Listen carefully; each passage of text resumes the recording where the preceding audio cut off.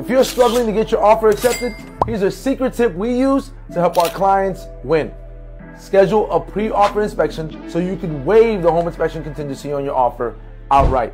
This will definitely help you stand out against the competition and those that are just too scared to waive their right to inspect. Now, the pre-offer inspection, in essence, is basically a standard home inspection, just a little more condensed to focus only on the major systems and structures of a home. You're to be able to inspect the roof, water heater, furnace, AC unit, plumbing, electrical, and structure of the home. You're just doing it before you submit your offer on the home.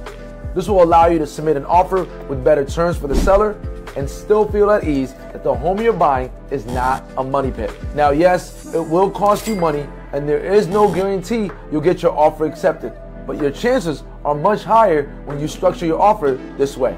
Hope this helps and be sure to drop us a DM to learn more about our other secrets we use to consistently help our clients win.